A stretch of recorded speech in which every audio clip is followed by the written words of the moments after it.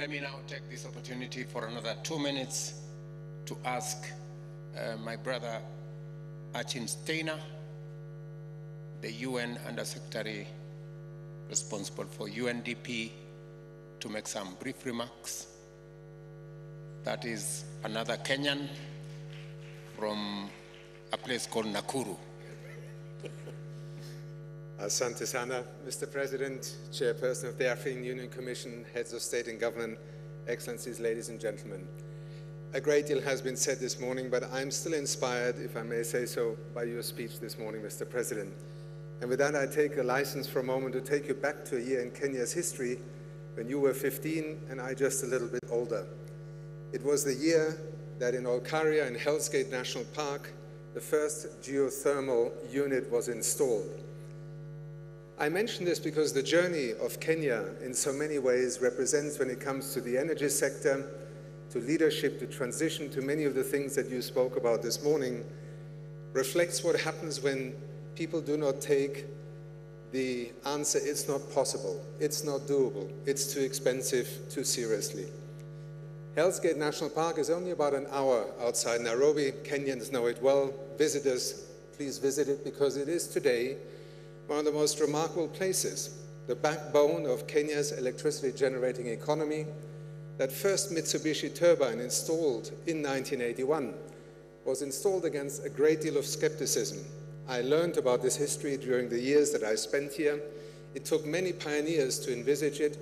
Today, Mr. President, I believe that Olkaria, with its various generating turbines, generates almost a thousand megawatts of electricity.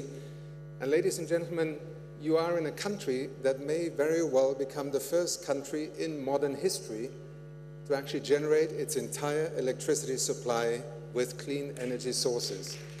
Kenya today is a country that has passed the 92% mark, and it is no longer alone.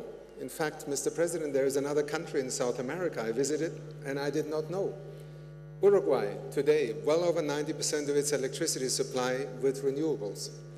This is not to say that every country can follow the same path. But what we do in UNDP and why I'm so proud to be here together with my Secretary General and so many of the partners that are today invested in precisely the kind of vision that you have laid out for Africa is that we can be partners. We have listened, we have learned, we have learned together.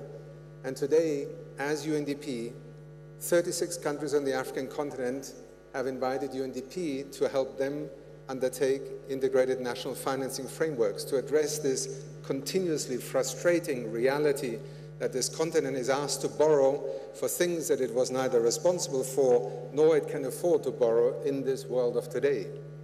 That is why looking at finance with the kind of lens that you have both spoken to this morning is so important.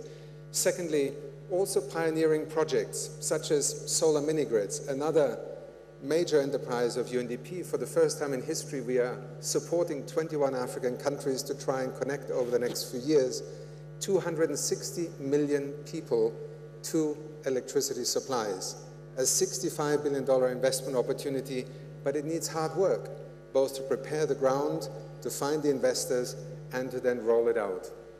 And finally, Mr. President, let me just commit to you in the presence of so many leaders from across the continent the United Nations Development Programme, as part of the United Nations family, as you heard from the Secretary General this morning, is deeply committed to Africa's future transitions, coming out of the reality of today, but investing every day across the continent.